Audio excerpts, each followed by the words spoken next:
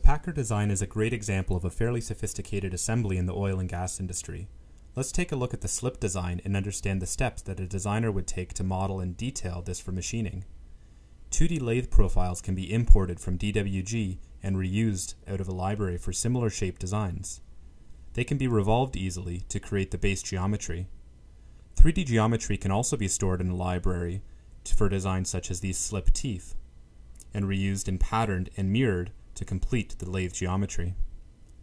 The desired slip can be cut from this lathe geometry with a simple 2D cut extrude. Adding additional planes as reference geometry is easy as SOLIDWORKS understands combinations of geometry that are sufficient to define a plane. The hole wizard is a great way to create holes or slots to industry standard. To document the manufacturing steps required to produce the slip, configurations can be used to define the final geometry as well as the geometry will be lathed. A configuration can also be added to communicate the yield of the cut slips by patterning the geometry and leaving enough space for the cuts. 2D drawings are still an important way to communicate the geometry and quality requirements.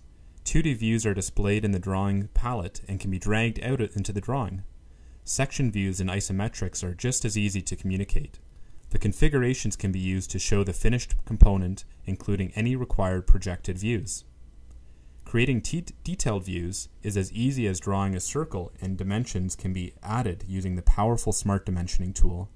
Having intelligent tools like Smart Dimensioning has had a very positive impact on how easy SOLIDWORKS has been for new users to pick up and has been a direct contributor to its mass adoption in the oil and gas industry. Let's finish off this drawing with a few notes and share the drawing with the powerful eDrawing package which can be used by recipients to mark up and send feedback on the designs from their computer or iPad without a SOLIDWORKS license. Adding this component to the assembly is incredibly easy and patterns can be used to add the required slips throughout the design. Finally, creating a quarter cross-section cut of the design can be a powerful way of communicating how the components interact to assist with assembly, operations, and even sales.